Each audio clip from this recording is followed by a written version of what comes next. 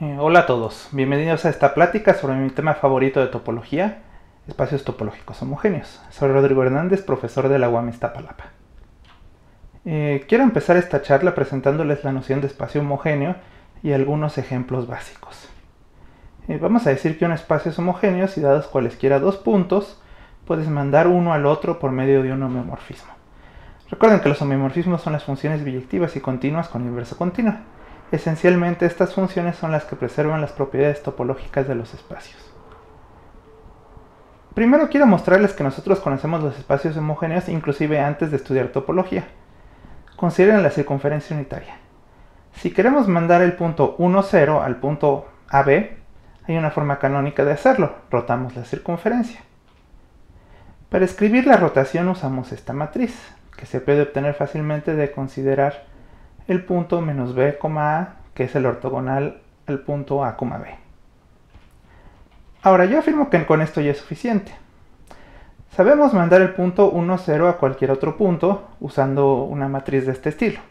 Entonces, si quieren mandar un punto de la circunferencia a otro, primero pueden mandar el primer punto, eh, toman el primer punto y lo mandan al 1, 0 con la matriz inversa correspondiente, y luego el 1, 0 lo mandan al segundo punto. ¿no? La composición de estas dos transformaciones es la que buscamos. Esta idea se puede aplicar también para el espacio euclidiano de n dimensiones, Rn. Si tienen dos puntos P y Q, pueden usar esta traslación por el vector eh, Q menos P y eso manda P a Q. Las traslaciones naturalmente son homomorfismos en R, N. Eh, y esto se puede generalizar para cualquier grupo topológico. Un grupo topológico es un grupo que tiene una topología donde el producto y la inversión son continuas. Análogamente a lo que hicimos con la circunferencia y el espacio euclidiano, si tenemos dos elementos G y H de un grupo topológico G mayúscula, podemos considerar eh, esta traslación que ven en pantalla para mandar G a H. Entonces los grupos topológicos son espacios homogéneos. Hay dos espacios clásicos que podemos mostrar que son homogéneos usando esta idea. En primera, el conjunto de Cantor. Cuando uno conoce el conjunto de Cantor por primera vez te lo definen como subespacio de R, pero no es muy difícil demostrar que es homomorfo a la potencia numerable infinita del espacio discreto con dos puntos. El espacio discreto con dos puntos, 0 eh, y 1, digamos, tiene una estructura de grupo topológico. Pues 0 más 0 igual a 0, 0 más 1 igual a 1 más 0 igual a 1, y 1 más 1 igual a 0, ¿no? Entonces usando esto se puede definir eh, la suma en, el conjunto de Cantor, coordenada a coordenada, y obtenemos un grupo topológico. Por lo tanto, el conjunto de Cantor es homogéneo. De manera similar se puede probar que el conjunto de números irracionales es homomorfo eh, a la potencia numerable infinita del grupo de enteros, con lo que obtenemos una estructura de grupo topológico. Entonces el, el conjunto de irracionales perdón, es un espacio topológico homogéneo. Eh, ahora, naturalmente no todos los espacios topológicos son homogéneos. El ejemplo más sencillo es el intervalo 0,1. Si ustedes toman cualquier, cualquiera de los dos extremos del intervalo y los quitan, el, subespacio resultante es conexo. Sin embargo, si ustedes quitan cualquier punto del interior del intervalo, lo van a desconectar. Eh, esto implica que los puntos extremos y los puntos interiores son diferentes topológicamente y no se pueden mandar unos a otros con un homeomorfismo. Eh, de manera similar se puede probar que cualquier cubo euclidiano compacto no es homogéneo, pues los puntos interiores y los puntos fronteras son topológicamente distintos. Esto se puede ver como corolario del eh, famoso teorema de invarianza de Brouwer. Eh, ahora quiero darles un ejemplo de espacio homogéneo que no es espacio métrico y además que no es grupo topológico. Llamamos este espacio la doble flecha y fue definida por Alexandro Furison en su famoso artículo sobre espacios compactos de 1929, donde dieron la noción moderna de compacidad, la definición moderna de compacidad. Eh, el conjunto subyacente de la doble flecha es tomar dos intervalos de reales que sean ajenos. Entonces vamos a pensar que son intervalos eh, horizontales de longitud 1 en el plano, como se ve en la diapositiva. El intervalo que está arriba en la figura tiene su extremo izquierdo, pero no el derecho. Este intervalo va a estar a altura 1. El intervalo de abajo tiene su extremo derecho, pero no el izquierdo y va a estar a altura 0. Eh, a este conjunto lo voy a llamar A. Entonces vamos a usar el orden lexicográfico en A. Como dice esta fórmula, eh, para decir que una pareja es menor que otra, primero comparamos su primera coordenada para decidir eh, cuál es menor y cuál es la mayor. En caso de que sus primeras coordenadas fueran iguales, comparamos sus segundas coordenadas y así decidimos cuál de los puntos es el mayor y cuál el menor. Noten que con esta definición el extremo izquierdo del intervalo de altura 1 es el mínimo de A y el máximo de A va a ser el extremo derecho del intervalo altura 0. Eh, piensen ahora en los puntos P, Q y R como se ven en la figura. Para comparar P y Q, como su primera coordenada es la misma, el punto P es menor que Q, eh, porque P está abajo de Q, es decir, su segunda coordenada eh, es menor.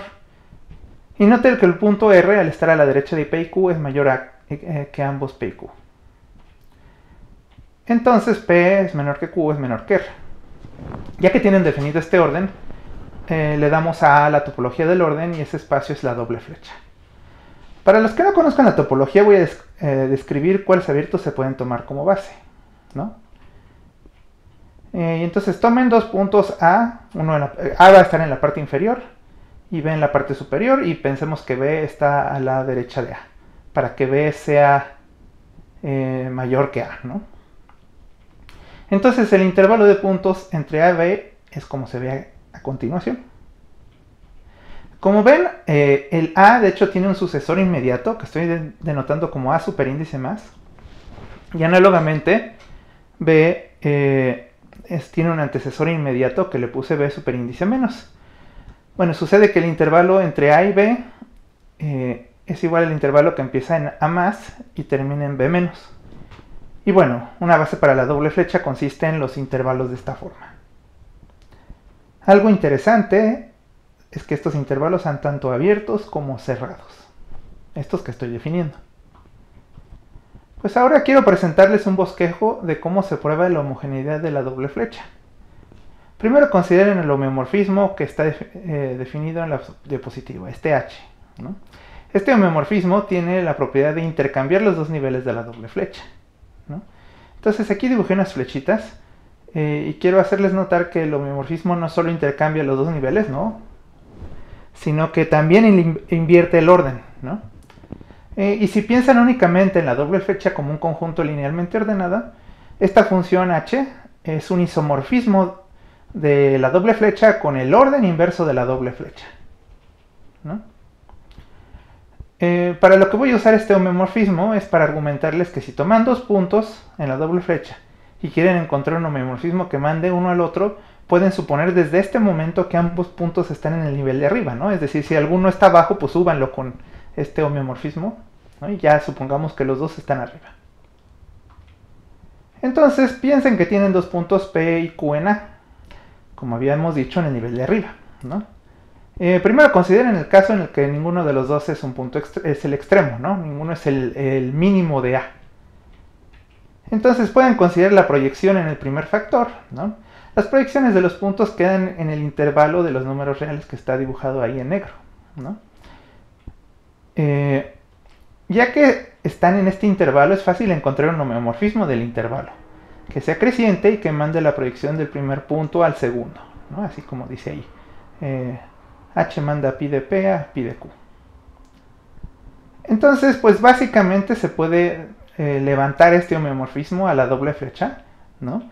Lo que hacemos eh, es usar el homeomorfismo en cada nivel, Bueno, el segundo caso es eh, pensar que uno de los puntos, digamos que P es el mínimo de A y el otro Q es distinto, ¿no? Que los dos están arriba aún así. Entonces, eh, observen que A se puede partir en dos conjuntos, que aquí estoy poniendo x0 y x1. Es decir, x0 es el intervalo que empieza en P y termina en el antecesor inmediato de Q. Y x1 es el intervalo que empieza de Q en adelante. El, intervalo con, me refiero con el orden lexicográfico. Eh, si recuerdan, les comenté que estos intervalos son abiertos y cerrados. Y de hecho, pues creo que es bastante claro que eh, son homomorfos al A de manera natural. Entonces básicamente lo que pueden hacer es intercambiar x0 y x1 con un homeomorfismo. Y ya con este argumento eh, bueno, con ese homeomorfismo van a mandar P a Q. Eh, y ya con este argumento es que di es suficiente para probar que la doble flecha es un espacio homogéneo. Eh, ya vimos algunos ejemplos de espacios homogéneos y ahora les quiero platicar un problema que me llama mucho la atención y que es bastante sorprendente. Básicamente, como dice aquí, es la potencia enumerable infinita de todo espacio es un espacio homogéneo. Bueno, y como ya habíamos comentado antes, las n celdas, es decir, las potencias finitas del intervalo 0,1, no son homogéneas, ¿no? Pero ¿qué pasa si tomamos potencias infinitas? Sucede que en 1931 Keller demostró que si tomas la potencia enumerable infinita del intervalo 0,1, o sea, 0,1 a la n, obtienes un espacio homogéneo. Seguramente han oído de este espacio, es el famoso cubo de Hilbert. La prueba de este hecho es bastante bonita, pero es algo largo de explicar. Eh, pero la idea es la siguiente. Si ustedes se fijan en dos coordenadas del cubo de Hilbert, eh, de, entre la cantidad infinita que hay, hay homeomorfismos como los que eh, trato de representar con este dibujo. En este homeomorfismo F, estamos moviendo el punto 0, 0, que es el que se llama P, a un punto F de P, cuya primera coordenada es un medio, ¿no? es un medio 0. Lo importante es que esta primera coordenada no es un extremo del intervalo 0, 1, no es ni 0 ni 1. Entonces, en una cantidad infinita numerable de pasos podemos mandar el punto constante 0 a un punto tal que ninguna de sus coordenadas es ni 0 ni 1. Lo que estoy tratando de decir es que ya probamos, eh, o bueno, que se puede probar que un punto de lo que parece ser la eh, frontera del cubo de Hilbert queda en el interior después de aplicar esta sucesión de homeomorfismos. Bueno, en fin, esto requiere muchos detalles que me voy a saltar, pero básicamente con esta idea pueden ver que el cubo de Hilbert es un espacio homogéneo. Sucede que hay un enunciado similar para espacios cero dimensionales, primero numerables y T1. También si toman la potencia numerable infinita de cualquier espacio con estas características, van a obtener un espacio homogéneo. Este hecho fue probado primero por Brian Lawrence para eh, subespacios de los reales y después generalizado por Alan Dow y Elliot Pearl a finales de los años 90. Eh, bueno, pues este teorema es bastante impresionante, ¿no? porque no importa con cuál espacio de, de estos empieces, siempre obtienen un homogéneo al aplicar la potencia numerable infinita. Por ejemplo, en 1932 Sierpinski eh, construyó lo que se conoce como un espacio rígido, uno tal que su único auto-homeomorfismo es la identidad. Noten que un espacio así es completamente lo opuesto a un espacio homogéneo. No pueden mover un punto a, ningún otro diferente. Pues bueno, si toman este espacio rígido y toman su potencia enumerable infinita, obtienen un espacio homogéneo. A mí me parece bastante impresionante que pueda pasar algo así. Bueno, no es tan difícil demostrar que x a la n no siempre es homogéneo. El ejemplo más sencillo es tomar un conexo con más de un punto, como un intervalo, por ejemplo, y unirle un punto ajeno al intervalo.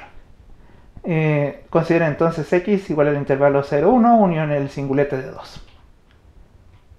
Sucede que las componentes conexas de la potencia x a la n son productos de componentes de x. Esto es para cualquier espacio x, ¿no?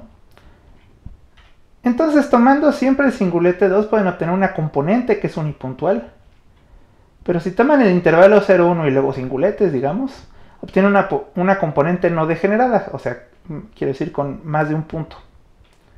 Y entonces, eh, como tienen componentes con un punto y componentes con más de un punto, sucede que el espacio x a la n no va a ser homogéneo. Sin embargo, fuera de esta restricción podemos preguntar, por ejemplo, ¿qué del plano de Nemitsky? Este es un espacio que seguramente conocen, primero numerable, y T1 lo único que le falta para el teorema anterior es ser cero dimensional. De hecho, este es un espacio conexo. ¿Será que su potencia numerable infinita es homogénea? Eh, esta pregunta no está, la estoy inventando yo, ¿no? Es, es, una pregunta que está en una compilación de problemas de espacios homogéneos eh, que hicieron en 2018, ¿no? Estos autores, Michael Krushak y Jan Van Mil. Bueno, antes de acabar la plática les quiero presentar algunos problemas más fuertes de espacios homogéneos que han planteado matemáticos de primera categoría y que aún no sabemos resolver. Eh, como los hiperespacios están de moda en México, eh, empiezo este problema con este problema de Alexander Hangelsky, que viene de 1987. Aquí KDX es el hiperespacio de compactos con la topología de vectores. Tomen la doble flecha que les presenté antes, ¿no? Y la pregunta es, ¿es el hiperespacio de compactos homogéneo? Pues hasta ahora no lo sabemos.